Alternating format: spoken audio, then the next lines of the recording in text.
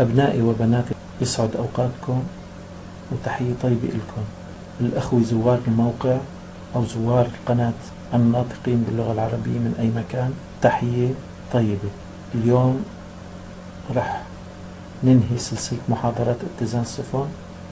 بتمنى تكون حققت لكم الفائدة وأنا على استعداد للإجابة على تساؤلاتكم التي يمكن طرحها عبر القناة وعبر التعليقات أدنى. إذا اليوم نبدأ المحاضرة الأخيرة المتعلقة بأمان السفن في حالة العطب إذا عندما تتعرض السفينة لحادث ما تتسرب المياه إليها. نهدف من هذه الدراسة إلى معرفة حالة السفينة وحالة اتزان السفينة ووضع السفينة في حال تسرب المياه إليها. لذلك هنا نقوم بدراسة هي دراسة آه، تأخذ بعين الاعتبار جملة من التبسيطات والتفصيلات التي تجعل الدراسة ممكنة. إذا هنا نقسم حالات العطب بحسب درجة شدتها إلى ثلاث فئات. الفئة الأولى إذا أن يكون القطاع الذي تسربت إليه المياه مغلق مغمور كليا ويتواجد أسفل خط الماء. في هذه الحالة تشبه هذه الحالة حالة ملء أو إفراغ أو أو ملء خزانات الصابورة إلا أن الوضع هنا هو وضع خارج عن سيطرة الركبان أي أنه وضع طارئ. فهذه الحالة تعتبر حالة من حالات التحميل. دراسة هذه الحالة هي دراسة ليست معقدة. الفئة الثانية هي تشبه الفئة الأولى إلا أن القطاع غير مغمور بالكامل. إذا لدينا القطاع الذي تسربت إليه المياه مفتوح من الأعلى مستوى الماء أخفض من مستوى السطح الحر للماء الجانبي أي أن المياه لا يمكن اعتبارها كجزء من ماء البحر وإنما تعتبر وكأن لدينا خزان من الخزانات آه تم شحن المياه إليه وتشكل تشكلت لدينا سطوح حرة. إذا آه مستوى الماء في الحجرة الذي تسرب إليه الماء سيبقى ثابت. هذا يعني أن أنه تمت السيطرة على عملية التسرب في نهاية آه هذه العملية. نحن نقوم بالدراسة. إذا الفئة الثالثة يكون القطاع مفتوح من الأعلى. الماء داخل القطاع على اتصال مع ماء البحر. إذا هنا الماء الموجود ضمن الحيز الذي تسربت إليه المياه متصل بماء البحر. أي يمكن لنا أن نعتبره جزء من ماء البحر ويمكن أن نعتبره من وجهة نظر أخرى على أنه حمولي مشحونة إلى السفينة. وهنا تنشأ لدينا وجهات النظر المتعلقة بطرق الدراسة. إذا الطرق المتبعة لدراسة حالة العطب وتغريق أحد القطاعات السفينة. إذا لدينا طريقة الوزن المضاف. طريقة الوزن المضاف هي بكل بساطة نعتبر أن المياه المتسربة آه، إلى السفينة هي عبارة عن حمولة إضافية آه، ندرسها من خلال دراستنا لعملية شحن حمولي والتي مرت معنا في بحث الاتزان الطولي والعرض. إذا شحن حمولي سائل. فإذا تم ملء الخزان بالكامل هنا لا تتشكل سطوح وإن لم يتم الملء فستتشكل سطوح حرة وبالتالي وكأننا نقوم بشحن حمولي سائل. إذا طريقة الإزاحة الثابتة. هنا طريقة الإزاحة الثابتة هي طريقة يجب الانتباه إليها جيدا. ماذا تعني طريقة الإزاحة الثابتة؟ طريقة الإزاحة الثابتة تعني بأن الذي يقوم بالدراسة يعتبر أن الماء الموجود المياه الموجودة في القطاع المغمور لا تنتمي إلى السفينة وإنما تنتمي إلى مياه البحر وبالتالي تصبح حدود السفينة هي الحدود محذوف منها القطاع المغمور. إذا هنا ماذا يعني أيضا هذا الكلام؟ يعني هذا الكلام أيضا أن حجم الإزاحة وزن السفينة هو ثابت وبالتالي حجم الإزاحة هو ثابت. ولكن ما الذي يتغير؟ إذا الذي يتغير هو شكل حجم الإزاحة. إذا تغير شكل حجم الإزاحة يقود أيضا إلى تغير غاطس السفينة. وكأن هذه المياه التي دخلت إلى السفينة قد ساهمت في تغيير قيمة الغاطس بنفس المقدار ومن ثم أصبحت متصلة بمياه البحر. إذا أصبحت الحدود الجديدة للقطاع هي بهذا الشكل. نتكلم الآن عن مفهوم درجة الغمر. ماذا تعني درجة الغمر؟ نحن نحسب حجم العنبر من خلال مخططات السفينة. أي أننا نحسب القيمة النظرية للحجم. لكن في الحقيقة أن الحيز الذي تضرر أو تسربت إليه المياه قد يكون مملوء جزئيا بمعدات وبتجهيزات مختلفة تجعل من قيمة القيمة الفعلية للحجم الذي تسربت إليه المياه أقل من القيمة النظرية. إن النسبة بين القيمة الفعلية لحجم المياه المتسربة إلى الحجم المحسوب نظريا عن طريق المخطط تسمى معامل الغمر إذا نستخدم مفهوم معامل الغمر لتسهيل سرعة الحسابات دون أن نخوض في عملية الحساب لحجوم المعدات الموجودة داخل العنبر وإنما نقوم باعتبار أن لدينا هي نسبة غمر محصورة بين قيم أقل من الواحد. طبعا فمن خلال الخبرة نستطيع أن نعطي قيمة معينة لمعامل الغمر ونحسب مباشرة قيمة الحجم الفعلي بشكل تقريبي أيضا السطوح السائل عندما يتعرض تتشكل سطوح حرة داخل القطاع المتضرر. قد تكون هناك بعض المعدات والأجهزة والأجزاء منها بارزة فوق سطح السائل.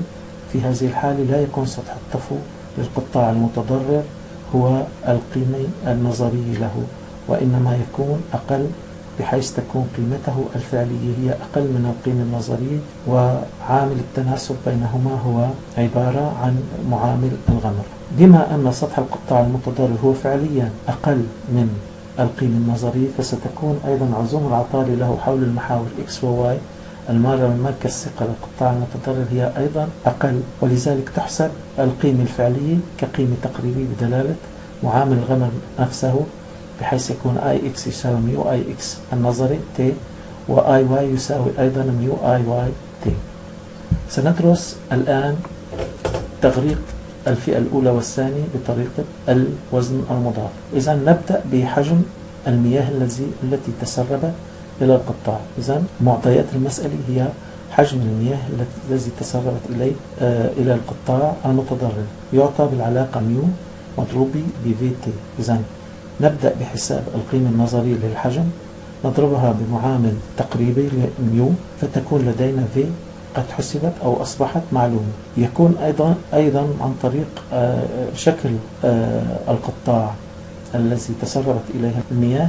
نستطيع أن نحسب إحداثيات مركز ثقله فستكون إحداثيات مركز ثقله X, Y و Z معطاة وبالتالي هذه هي المعطيات. نبدأ إذا بحساب تغير الغاطس دلتا تي يساوي في على دبليو ال هنا مساحة سطح الطفو. ومساحة سطح الطفو يمكن حسابها مباشرة من المنحنيات الهيدروستاتيكية لأن الغاطس لدينا غاطس السفينة وحمولة السفينة هي من القيم المعلومة. فيكون بالتالي ارتفاع ال métacentre الجديد اش صفر واحد يساوي اش صفر زائد في على في صفر زائد في بتي زائد دلتا تي على 2 زائد رو بي ناقص زد ناقص اش صفر. نحن قلنا أن زد هو ارتفاع مركز ثقل حجم القطاع الذي تضرر وهو قلنا أن شكله معروف وأحداثيات مركز ثقله معروف. رو بي تحدثنا عنه سابقا بأنه نصف قطر الانحناء منحني مراكز ثقل خطوط آه، الماء متساوية الحجم. عندما تميل السفينة بالاتجاه العرضي وقلنا أن رو بي هو أقل من رو ال أي أن السفينة عندما تميل بالاتجاه العرضي مركز ثقلها يصنع منحني نصف قطره هو أقل بكثير من نصف قطره عندما تميل السفينة طوليا. فهذه القيمة يمكن إهمالها واعتبارها مساوي للصفر. يمكن أن نحسب بالتالي بعد أن حسبنا أش آه، صفر واحد أن نحسب زاوية الميلان العرضي tangente فاي يساوي في على في صفر زائد في بواي على إش صفر واحد. قلنا أيضا بأن الإحداثي العرضي للحيز آه، المغمور معطى. إذا الارتفاع الجديد آه، لل métacentre الكبير إذا يعطى أيضا بالعلاقة إش صفر زائد في على في صفر زائد في تي زائد دلتا تي على 2 زائد رو ال ناقص زد ناقص إش صفر. إذا هذا التغير الذي يدعى دلتا اش صفر كبيرة بماذا يختلف عن دلتا اش صفر صغيرة؟ يختلف بالقيمة اش صفر هنا؟ اش صفر كبيرة؟ ورو هنا بدل رو بي هنا رو ال. هنا رو ال لا يمكن إهمالها. وقلنا بأنها تعطى بالعلاقة واحد على إس دبليو إل مشتق آه، جي واي على جي واي أي عزم العطالة حول محور واي على دي زد. إذا مشتقة بالنسبة للارتفاع زد. إذا هذه القيمة يمكن أيضا حسابها من المنحنيات الهيدروستاتيكية. نذهب إلى المنحنيات الهيدروستاتيكية نستخرج قيمة SWL ونأخذ ميل المماس على المحور Z. إذا نستطيع حساب المشتق دي جي واي على دي زد بطريقة هندسية. طريقة حساب رو ال نصف قطر انحناء منحني مراكز ثقل خطوط الماء متساوية الحجم عند الميلان الطولي. قلنا بأنه يساوي واحد على اس دبليو ال دي جي واي على دي زد يساوي تقريبا واحد على اس دبليو ال دلتا جي واي على دلتا زد إذا كيف نفعل حتى آه، نحسب هذه القيمة؟ إذا نذهب إلى المنحنيات الهيدروستاتيكية. لدينا منحني اس دبليو ال ولدينا منحني جي واي منحني اس دبليو ال يقرأ من مقياس اس دبليو ال منحني جي واي يقرأ من مقياس جي واي. الآن الغاطس هو قيمة معروفة لدينا. إذا عند الغاطس تي نقرأ اس دبليو ال الآن كيف نحسب المشتق دي جي واي على دي زد؟ نحسب الفروق دلتا جي واي على دلتا زد. إذا نكمل عند نفس الغاطس فنحصل على هذه النقطة. نرفع ارتفاع طفيف نحو الأعلى وليكن واحد مليمتر ونحو الأسفل وليكن واحد مليمتر. ونقاطع مع المنحني جي نقرأ من محور زد مقدار دلتا زد إذا زد هنا نقطة التقاطع مع هذا الخط ونقطة التقاطع مع هذا الخط. نأخذ القراءة هنا والقراءة هنا ونأخذ الفرق وليكن دلتا زد ثم نأتي إلى هنا إلى هذه النقطة أيضا وهذه النقطة نقرأ قيمة جي واي من مقياس جي واي ونقرأ قيمة جي واي عند هذه النقطة من مقياس جي واي عند هذه النقطة ونحدد مقدار دلتا جي واي. نعوض في العلاقة فنحسب رو ال إن حساب رو بي منحني مراكز ثقل خطوط الماء متساوية الحجم عند الميلان العرضي. يتم بنفس الطريقة ولكن بدل جي واي نستخدم منحني آخر هو جي إكس فنحسب رو ال أو تعطى رو ال بطريقة علاقات تقريبية. يمكن أيضا حتى لا نغوص بهذه التفاصيل يمكن أن نأخذ علاقة تقريبية الأخرى والتي كانت عبارة عن أش صفر, صفر واحد يساوي بي وزن السفينة على وزن السفينة زائد وزن الحمولي. هنا نقسم على الوزن النوعي فتصبح العلاقة بدلالة الحجوم في صفر على في صفر زائد في أش صفر. إذا في هذه الحالة تصبح زاوية الميلان طولي طنجون تيتا يساوي في على في صفر زائد في وكأننا نقوم بحالة آه، نقل حمولي x ناقص x على h صفر واحد. قلنا أن x هو إحداثي الطول للقطاع المغمور وهو يجب أن يكون لدينا منذ البدء. فيصبح لدينا إذا لدينا كما رأينا سابقا أن x فتحة يساوي x زائد نصف رو L tangente تيتا إن آه، الإحداث الطولي لمركز ثقل سطح الطفو مائل طوليا يعطى بهذه العلاقة التي استنتجناها في المحاضرة الأولى. رو ال تحدثنا كيف يمكن أن نحسبه و tangente تيتا محسوبة بالعلاقة السابقة. إذا في هذه الحالة نستطيع حساب الغواطس المقدمة والمؤخرة بدلالة هذه العلاقات التي كل عناصرها أو كل الطرف الثاني معلوم فيها. ندرس الآن تغريق قطاعات الفئة الأولى والثانية من طريقة الإزاحة الثابتة قلنا بأن طريقة الإزاحة الثابتة تختلف عن طريقة الوزن المضاد. بأننا ننظر إلى المياه المتسربة إلى القطاع على أنها لا تنتمي إلى القطاع أي أنها ليست حمولة هي متصلة بماء البحر وبالتالي هي جزء من ماء البحر. إذا بما أن المياه التي تسربت إلى إلى القطاع لم نعتبرها كوزن إضافي وإنما اعتبرناها جزء من ماء البحر. إذا وكأن ماء البحر أصبح قد احتل أحد القطاعات وأصبح هذا القطاع لا ينتمي إلى السفينة وإنما أصبحت السفينة حدودها هي هذا القطاع. إذا تغير بالتالي شكل السفينة وكأن السفينة أصبحت لها معطوبة ولها شكل جديد هي سفينة جديدة لها شكل جديد. شكل معطوب مشوه مختلف عن الحالة الأولى ولكن وزنها بقي ثابتا ومركز ثقلها بقي مكانه. بما أن شكلها قد تغير فسيتغير شكل حجم الإزاحة ولكن كقيمة قيمة حجم الإزاحة يبقى ثابتا. بما أن شكل حجم الإزاحة تغير فسيتغير الغاطس. سيتغير الغاطس إذا مقدار تغير الغاطس عن القيمة السابقة سنعتبر وكأن هناك كمية من المياه دخلت إلى حجم الإزاحة وأضيفت إلى حجم الإزاحة السابق وشكلت شريحة سائلية سماكتها دلتا تي وشكل قاعدة لها SWL فسيكون مقدار في فتحة التي أدت إلى تغيير في قيمة الغاطس تساوي دلتا تي ب SWL إذا هنا يظهر وكأن لدينا تناقض. بما أن في فتحة هي ليست قيمة دخلت ككمية كوزن إضافي إلى السفينة فكيف يتغير الغاطس؟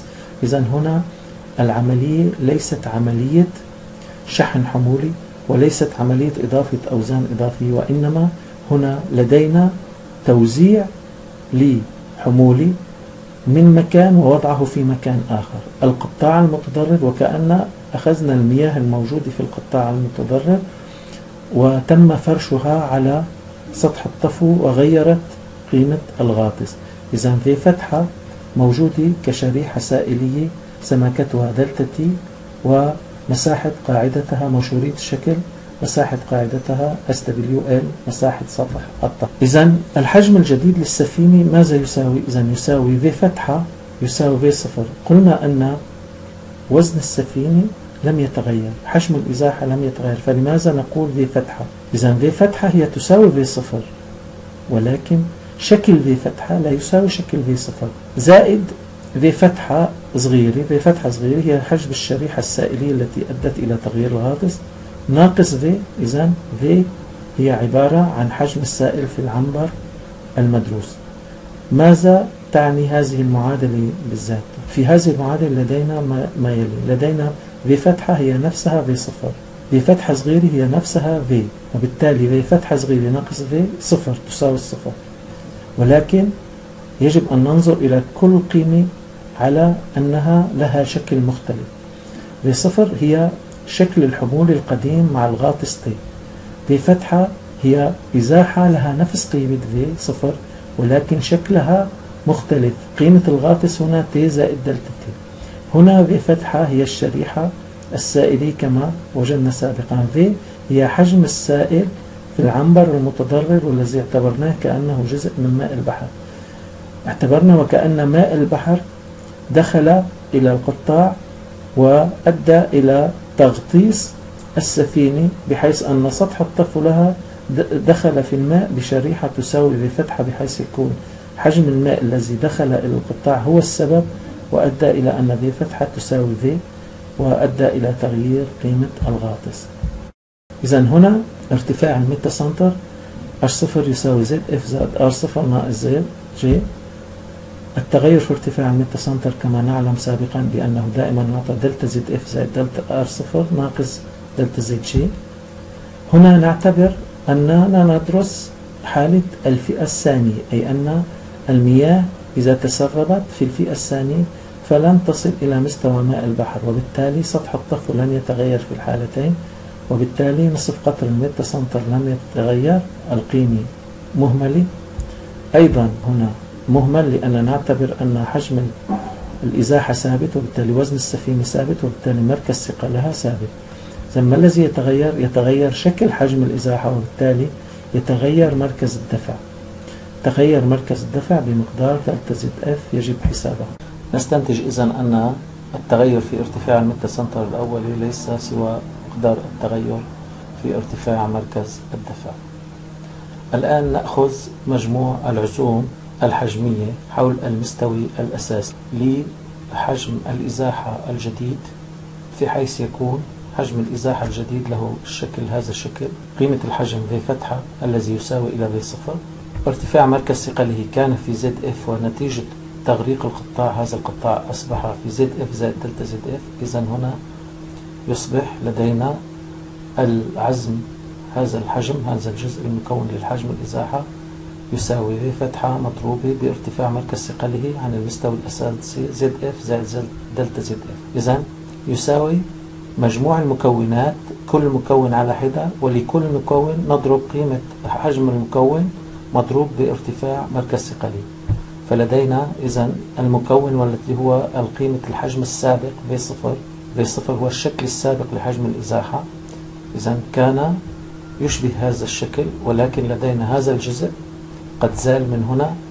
وهنا نلاحظ أن الغاطس أيضا قد زاد بمقدار دلتا تي إذا هنا الغاطس بمقدار تي بينما هنا الغاطس بمقدار تي زائد دلتا تي إذا هنا آه، القيمة القديمة لحجم الإزاحة إذا كانت في صفر ارتفاع زد اف الآن بسبب تغريق القطاع الذي حجمه في والذي مركز ثقله زد فإذا تم نزع هذه القيمة من حجم الإزاحة فلذلك نقول ناقص في في زد وإضافة هذا الجزء الذي تم آه، نزعه على شكل شريحة سائلية غيرت الغاطس من ت حتى دلتا ت قيمتها في فتحة بحيث يكون في فتحة يساوي في صغيرة في فتحة صغيرة تساوي في صغيرة في فتحة كبيرة تساوي في صفر. ولكن هنا في فتحة صغيرة هي عبارة عن الشريحة السائلية التي سماكتها دلتا ت ومركز ثقلها هو ت زائد دلتا ت على 2 إذا والمتوضعة هنا. فبذلك تكون قد تشكلت لدينا معادلة العزوم. نلاحظ في معادلة العزوم هنا كل العناصر موجودة ومعلومة ما عدا دلتا زد إف نقوم بحسابه بعلاقته. إذا يصبح دلتا إش صفر يساوي دلتا زد إف يساوي في على في صفر بتي زائد دلتا تي على 2 ناقص زد. إذا زد هو ارتفاع مركز ثقل القطاع المغمور عن المستوي الأساسي. الآن يصبح لدينا إش فتحة صفر واحد يساوي إش صفر زائد في على في صفر في تي زائد دلتا تي على 2 ناقص زد لاحظ هنا ارتفاع ال metacenter الأولي قد أعطى علاقة مختلفة عن العلاقة التي حسبناها بطريقة الوزن المضاف. فهل هناك مشكلة يا ترى؟ وهل هناك خطأ بين الطريقتين؟ هل يجب أن يكون لدينا نفس الارتفاع لل metacenter؟ إذا هنا في هذه الحالة عند اعتبار طريقة الوزن المضاف يعطي ارتفاع metacenter مختلف عن ارتفاع ال metacenter الذي يعطيه عن دراستنا بطريقة الإزاحة الثابتة سبب الاختلاف أن الحالة الأولى تعتبر وزن السفينة مختلف عن وزن السفينة في الحالة الثانية.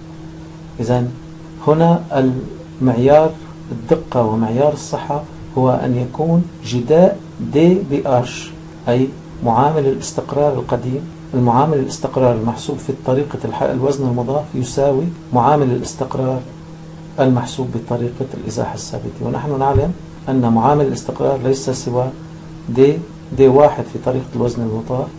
اش صفر واحد يساوي دي واحد فتحة باش صفر واحد فتحة في طريقة الإزاحة الثابتة. إذا نلاحظ بطريقة الإزاحة الثابتة أن دي واحد فتحة هو عبارة عن قيمة وزن السفينة قبل التغريق أي أن آه، الإزاحة الوزنية للسفينة لم تتغير قبل العطب وبعد العطب. بينما هنا أضيفت إلى وزن السفينة بعد العطب مقدار المياه المتسربة. إذا هنا دي واحد لا يساوي دي واحد فتحة. ولذلك استرعى أن يكون أش صفر واحد غير مساوي صفر واحد فتحة. بينما الجداء يجب أن يكون نفسه. لنختبر ذلك لدينا العلاقة التي تعطي أش صفر واحد والتي تعطي أش صفر واحد فتحة. إذا هنا طريقة الوزن المضاف وهنا طريقة الإزاحة الثابتة. إذا يجب على هذه هاتين القيمتين أن تتساويان. إذا في هذه الحالة نجري الجداء الأول D واحد H صفر واحد. لدينا قلنا وزن السفينة قد ازداد بمقدار الحمول التي هي جاما V صغيرة ولكن العلاقة التي كانت تعطي ارتفاع ال metacenter هي هذه العلاقة H صفر زائد P على P زائد P T زائد دلتا T على 2 ناقص Z ناقص H صفر. الآن يساوي حسب طريقة الإزاحة الثابتة إذا P H صفر. قلنا وزن السفينة هو نفسه زائد P ب T زائد دلتا T على 2 ناقص Z. إذا هنا نلاحظ أن في الجداء إذا ضربنا الجداء الأول نجد أن معامل الاستقرار هو نفسه إذا هو نفسه في الحالتين. دراسة تغريق قطاعات الفئة الثالثة بطريقة الإزاحة الثابتة. هنا نذكر بالفئة الثالثة. قلنا الفئة الثالثة تختلف عن الفئة الثانية بأن الماء المتسرب إلى القطاع المعطوب هو بمستوى ماء البحر وبالتالي متصل بماء البحر. في هذه الحالة ما الذي يتغير؟ الذي يتغير أن ارتفاع ال metacenter كان عبارة عن مجموعة من التغيرات هي التغير في ZF دلتا ZF والتغير في نصف قطر ال metacenter دلتا R صفر والتغير في آه ارتفاع مركز الثقل دلتا ZG هنا أيضا دلتا ZG لن يتغير لأننا نعتبر الإزاحة ثابتة وبالتالي مركز ثقل السفينة لا يتغير. بينما هنا نلاحظ الأمر المهم التالي وهو أن مساحة سطح الطفو آه، هي بعد العطب منقوصة بمقدار مساحة سطح السائل في القطاع المعطوب وبالتالي سيكون لها عزم عطالي بعد العطب مختلف عنه قبل العطب وبالتالي سيكون لدينا نصف قطر ال metacenter قبل العطب ليس هو نفسه بعد العطب وبذلك سيكون لدينا فرق جديد أو آه تغير جديد في في ارتفاع ال metacenter. هو تغير في نصف قطر ال metacenter إذا في هذه الدراسة لدينا الاعتبارات والفرضيات التالية. أولا السفينة ذات جوانب متعامدة مع خط الماء ضمن مجال تغير الغاطس. الميلان العرضي صغير وضمن مجال الاتزان الأولي. السفينة تطفو قبل العطب بدون ميلان عرضي أو طولي. القطاع المغمور صغير بالمقارنة مع حجم الإزاحة للسفينة. إذا هنا سنعتمد الرموز والمصطلحات التالية XF YF ZF إحداثيات مركز الدفع قبل العطب XF فتحة YF فتحة ZF فتحة إحداثيات مركز الدفع بعد العطب حجم القطاع المغمور يساوي ميو في تي يساوي معامل الغمر مضروب بالحجم النظري للقطاع المغمور حتى سطح الطفو SWL مساحة سطح الطفو قبل العطب لدينا السفينة مخطط السفينة ومخطط القطاع المعطوب إذا للقطاع المعطوب لدينا إحداثيات مركز ثقلي وهي X Y Z ولدينا إذا إحداثيات مركز ثقل القطاع المغمور ولدينا أيضا سطح الطفو للقطاع المغمور. إحداثيات مركز ثقل سطح الطفو للقطاع المغمور هو XS YS وZS إذا نلاحظ هنا أن إكس اس واي اس زد اس إحداثيات مركز ثقل سطح الطفو للقطاع المتضرر. اذا سيكون لدينا مساحة سطح القطاع المتضرر. S يساوي ميو مضروبة في قيمة ST ST هي مساحة سطح الطفو للقطاع المتضرر أو القيمة النظرية لمساحة سطح الطفو للقطاع المتضرر. XC YC إحداثيات مركز ثقل سطح الطفو قبل العطب إكس سي شحطة واي سي شحطة إحداثيات مركز ثقل سطح الطفو بعد العطب. وبالتالي هنا بعد العطب ستكون قيمة مساحة سطح الطفو هي SWL ناقص S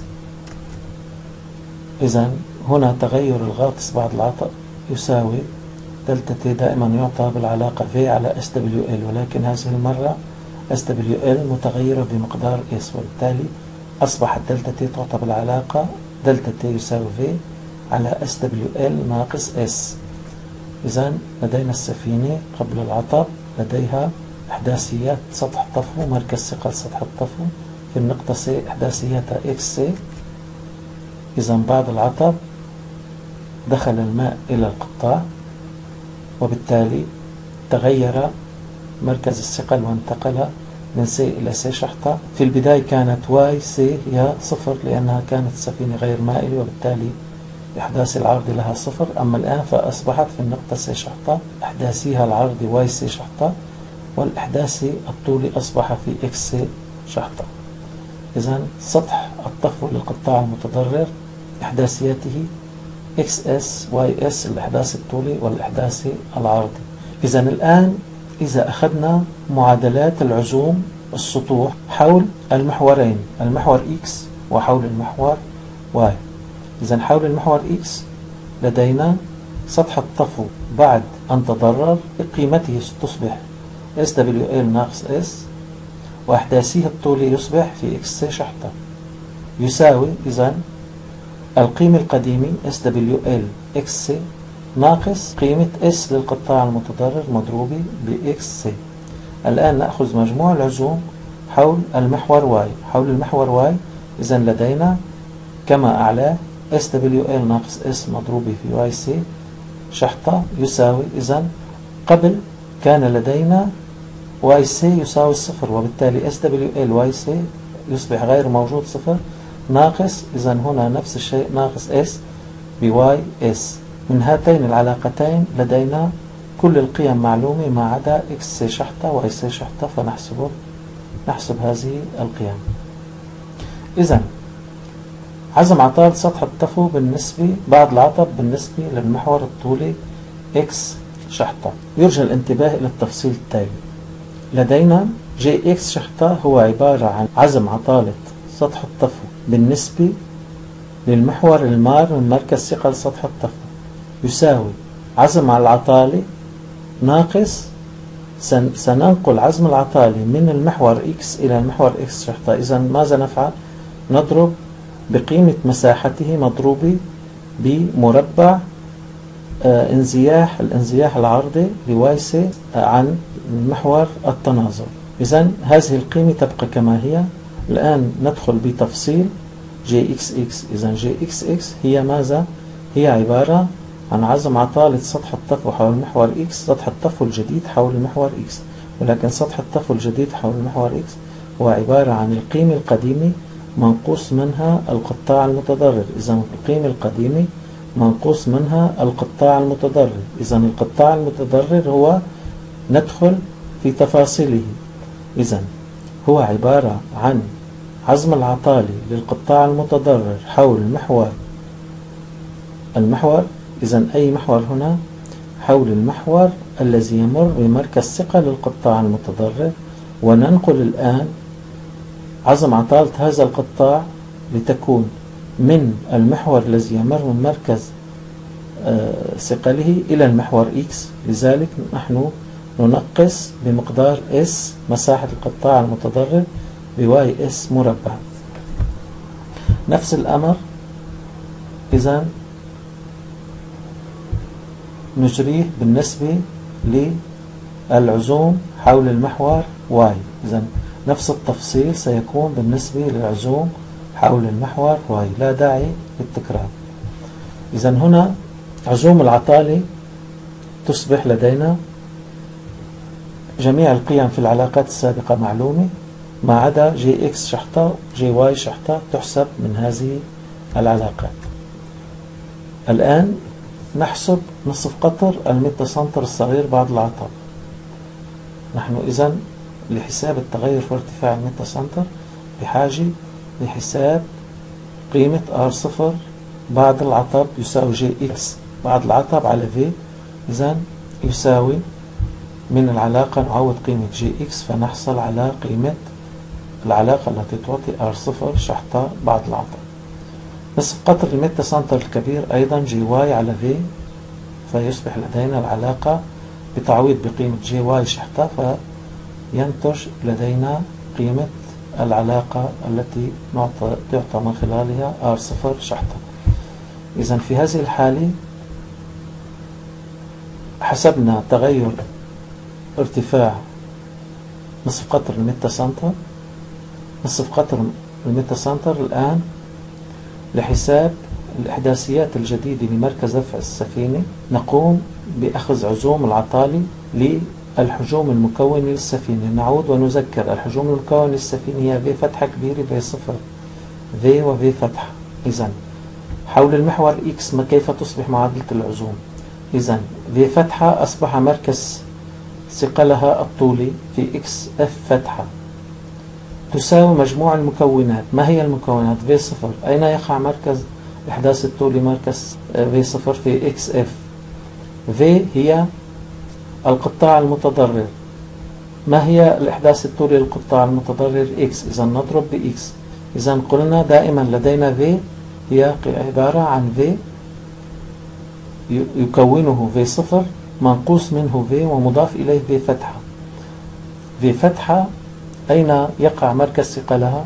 إذا في فتحة هي عبارة عن الشريحة السائلية التي سماكتها دلتا تي والممتدة على كامل طول السفينة فسيكون بالتالي إحداثيات مركز الإحداث الطولي لمركز ثقلها يساوي إكس سي شحطة. الآن ننتقل إلى الإحداث العرضي. الإحداث العرضي بنفس الأمر. لاحظ إذا نفس الأمر لدينا بدل X نستخدم Y بدل X نستخدم Y الآن نأتي إلى Z Z إذا لدينا نفس الأمر تماما بينما هنا نعلم أن بالنسبة للشريحة السائلية مركز ثقل الشريحة السائلية أو ارتفاع مركز ثقل الشريحة السائلية والمتوضعة في منتصف سماكة الشريحة وهو T زائد دلتا T على 2 لاحظ في هذه العلاقات لدينا X شحطة Y شحطة محسوبة سابقا بعلاقات. إذا لدينا هنا ثلاث معادلات بثلاث مجاهيل تحسب مباشرة فيصبح لدينا إذا x فتحة x f فتحة y f فتحة z f فتحة العلاقات التي تعطيها. قلنا لدينا أن x شحطة y شحطة موجود لها علاقاتها بتبديل علاقات x شحطة y شحطة. ضمن علاقات x f فتحة y f فتحة z f فتحة. فنحصل على العلاقات التي تعطي قيمة x f فتحة y f فتحة z f فتحة مباشرة.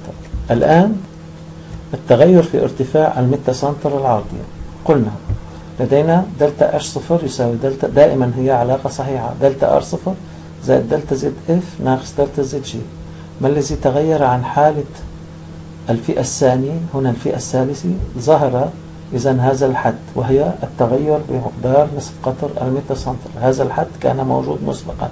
أما هذا الحد فسيبقى دائما معدوم. لماذا؟ لأننا ندرس بطريقة الإزاحة الثابتة. ونعتبر في هذه الحالة أن وزن السفينة بقي نفسه وبالتالي مركز ثقله بقي نفسه. فيصبح لدينا إذا هنا هذه هذا المقدار. أصبح ار صفر شحطة التي حسبناها سابقا ناقص ار صفر. دلتا زد اف إذا لدينا قيمة زد اف فتحة ناقص زد اف لدينا العلاقة التي تعطي زد اف فتحة وهذه القيمة تساوي الصفر. إذا يعطى دلتا اش صفر بعلاقة بدلالة القيم زد اف فتحة بعلاقتها ار صفر شحطة بعلاقته.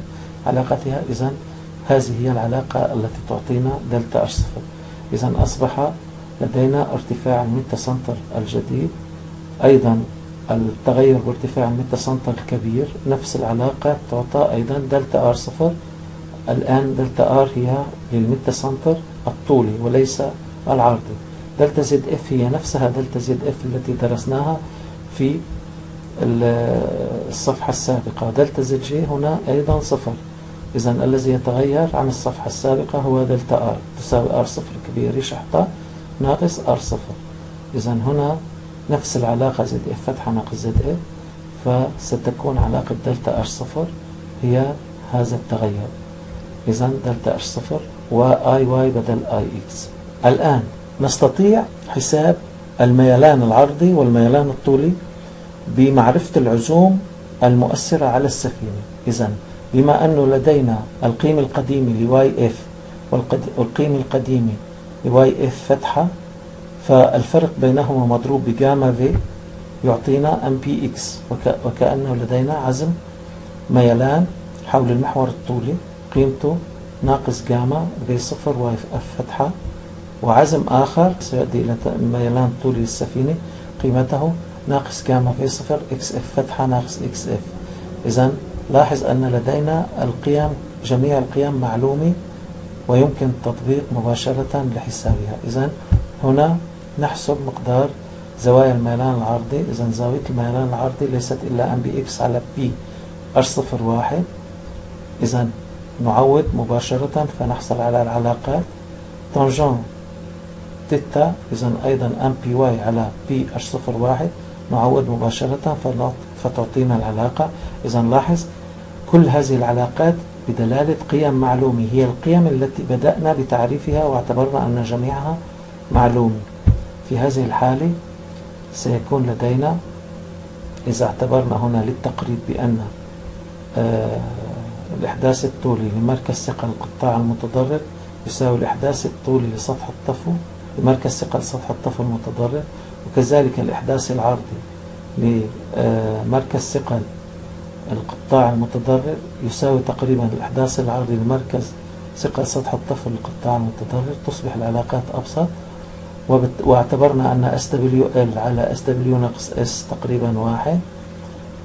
وبالتالي و S على SWL ناقص S يساوي صفر. إذا تصبح لدينا علاقات أكثر بساطة ومختصرة. هي هذه العلاقات التي تعطي tangente فاي و tangente تيتا أن tangente تيتا أصبح معلوم وطول السفينة معلوم فإذا يمكن أن نحسب غاطس المقدمة وغاطس المؤخرة. بذلك نكون قد درسنا حالات العطب للفئات الأولى والثانية والثالثة بطريقتي الوزن المضاف والإزاحة السالبة شكرا لانتباهكم